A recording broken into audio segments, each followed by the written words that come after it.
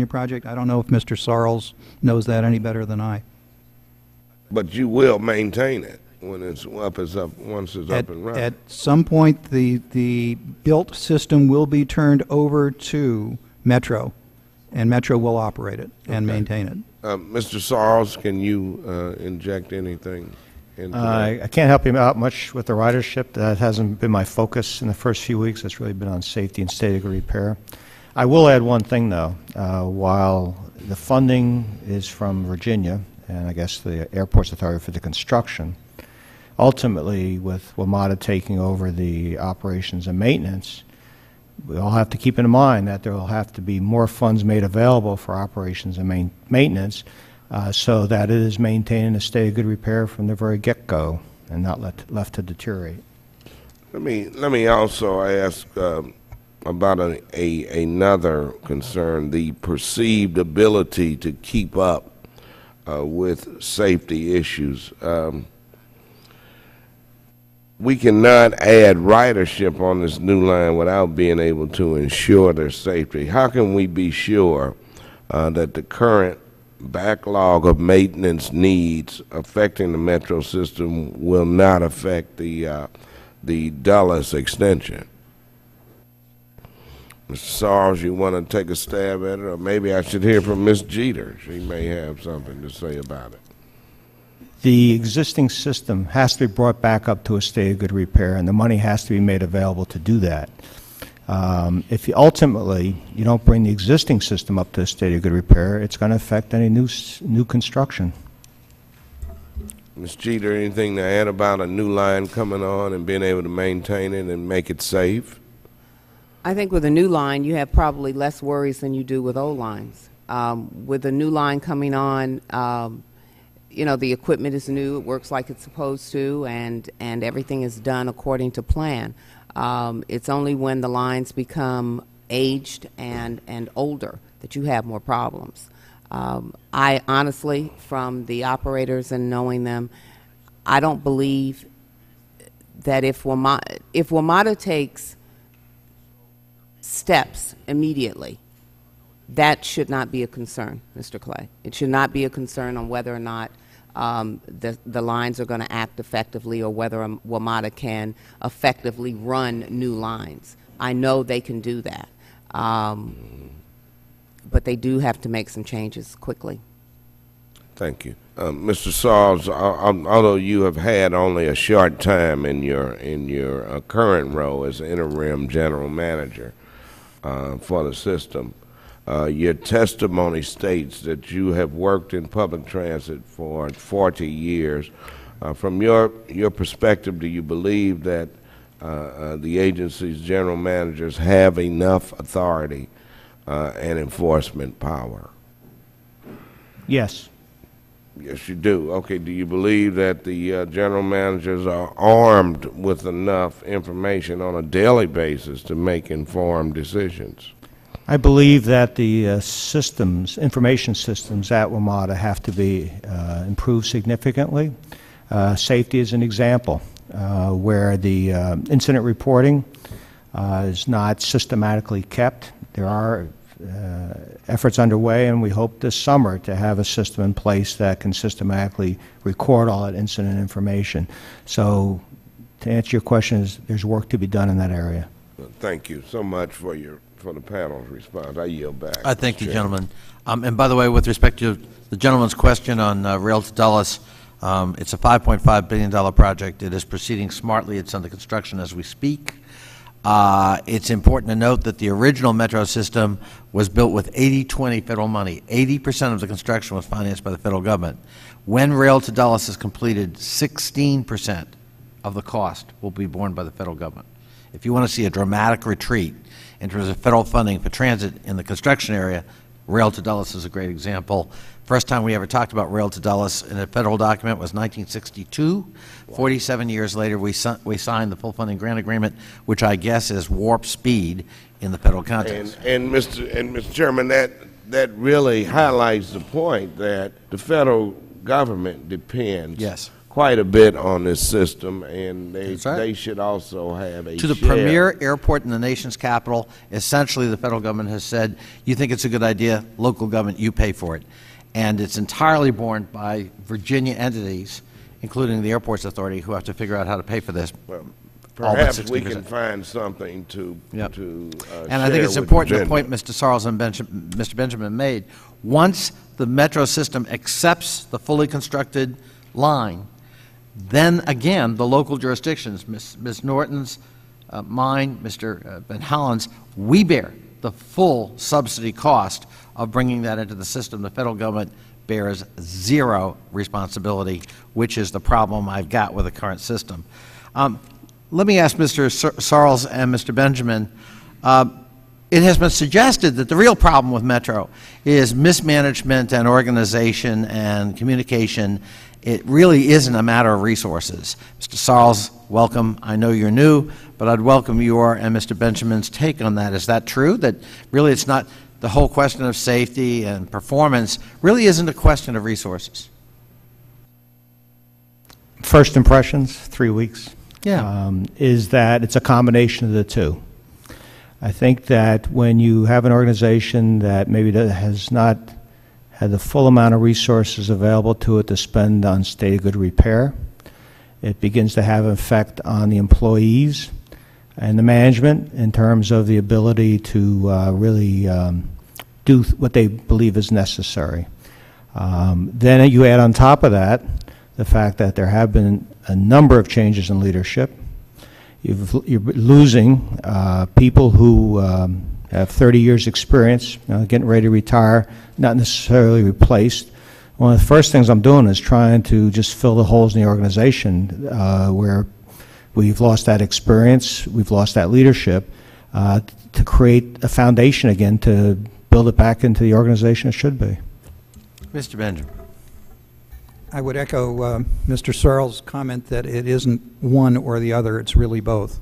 Uh, Clearly, if we have not made the investments that we need to make in replacing our infrastructure and our, our equipment, uh, that is going to have an effect on safety. Uh, On the other hand, we also have uh, a clear problem with our safety culture. We do not live safety from the general manager all the way down to the last track worker and operator. It's something that needs to be improved. Clearly, also, our communication needs to be improved. So we have to be working in both areas, and neither one by itself will be sufficient. Can I ask you each, and briefly, uh, is it a fair proposition, though, to say what's missing at the table in terms of subsidies, operating subsidies on a day-to-day basis, is federal dollars? I, uh, I certainly agree that additional sources of funding would be very, very good, and having the federal government uh, participate by adding funding uh, would s- tend to make some of the decisions, such as the ones we have right now, an awful lot easier. I agree with that. Yeah. I, I think we have to recognize the uniqueness of the relationship. This is not Wyoming, uh, or, you know, I mean, this is the nation's capital. Um, Ms. Jeter, uh, would you say that uh, personnel cuts might have some impact over time on safety and efficiency and operational uh, uh, issues, uh, and that uh, those uh, personnel cuts uh, are all about saving money? Yes, yes, I would. I think that anytime you make uh, not only personnel cuts, but severe service cuts, you're weakening your system. Um, And would you say that all of that's related to the issue of resources? Yes. And I do agree that there needs to be operating money. Mr. Bassett, uh, one of the critiques about, uh, in the past, uh, especially in a series of Washington Post stories, was that your organization, um, A, sort of lacks teeth, uh, doesn't really have any binding powers over, over the safety operations of Metro, and that um, almost consistently Metro has denied you and your colleagues and uh, entities uh, uh, controlled by you access to the system in a timely fashion whereby you could detect or report on uh, or make recommendations about potential safety violations. What is your take on that crit- critique? I think the FTA administrator did an, an, excellent job uh, outlining the regulatory framework under which we operate earlier today and the uh, limitations we face in being able to regulate uh, a rail transit system, which are very similar to the regulatory limitations that uh, most other state safety oversight agencies face, so I don't believe we're unique in that regard. Um, in regards to WMATA not permitting access to the Tri State Oversight Committee's um, uh, auditors, uh, that was really an issue that revolved around our ability to access the live right of way. We were attempting to conduct uh, an audit on whether or not uh, the authority was complying with its track worker safety protection rules. And uh, while it, it was covered in the media, um, I am happy to note that through increased coordination with uh, both the Board of Directors and WMATA leadership, that issue has been satisfactorily resolved. And we were, in fact, able to go out, complete the audit, and our audit was released on our webpage in December, um, noting a number of issues and deficiencies in terms of gaps between operating practices, uh, what was what is or operating practices and what was written in the rule book. Um, and so, I, while I, I believe that's a very significant concern, I think uh, coordination between our groups has addressed that, and the, the proof is in the proverbial pudding of the audit we were able to generate. I thank you. My time is up. Um, The gentlelady from the District of Columbia is again recognized by five minutes. Uh, Thank you, Mr. Chairman. Mr. Chairman, I want to join you in the notion of operating subsidies, and I want to also note what it took for you to get the rail line to Dulles. And I want to, I don't want anybody to leave the, the table with raised expectations. It took us seven years even to get the thing authorized over here. It took us, uh, we could, we didn't get the first 150 million dollars out, and I'm convinced we wouldn't have gotten it out if the people hadn't been killed. So as mu- much as it is fair, particularly given the utter dependence of the federal government and the way in which Metro is running out of money, I don't want anybody to leave this table, go back to their jurisdictions, and say, uh, even the Congress thinks we ought to be, have operating uh, subsidies. I can tell you this that the entire region does, but uh, most of the Congress didn't even think that we should be paying for capital spending even after we ground it year after year into their heads that we were talking about federal employees. Look, uh, you have all testified lo- that there should be an independent uh, TOC. My question was was a follow up. Simply said, would the um, would, would, would that mean I'm calling it by another name, the Metro Safety Commission? Mr. Benjamin, uh, would uh, you see the problem is I'm dealing with the people who would be regulated. We don't have anybody at the table who is truly independent. Uh, and in order for there to be a commission, somebody would have to put in a proposal at the next session of the legislatures for a commission. And I can tell you one thing: when we told them to put in a proposal for that, for the states to get their share to match our 150 million dollars, it even took them some time to do that. D.C. did it right away. It took uh, uh, Maryland, Virginia, two or three years to do it. And already we've been waiting a full year after people were killed, and Ms. Jeter is right, after employees had been killed for 10 years before that.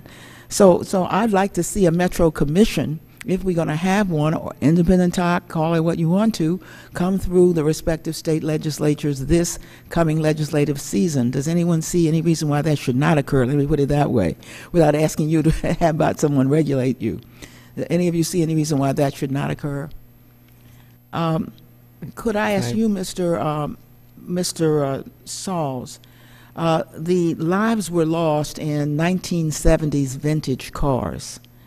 Um, you only get 150 million dollars per year from the government. Is all of that money being used to replace those cars that went up like an accordion, whereas the somewhat later cars were uh, no no one was uh, that was behind it. No one was was killed.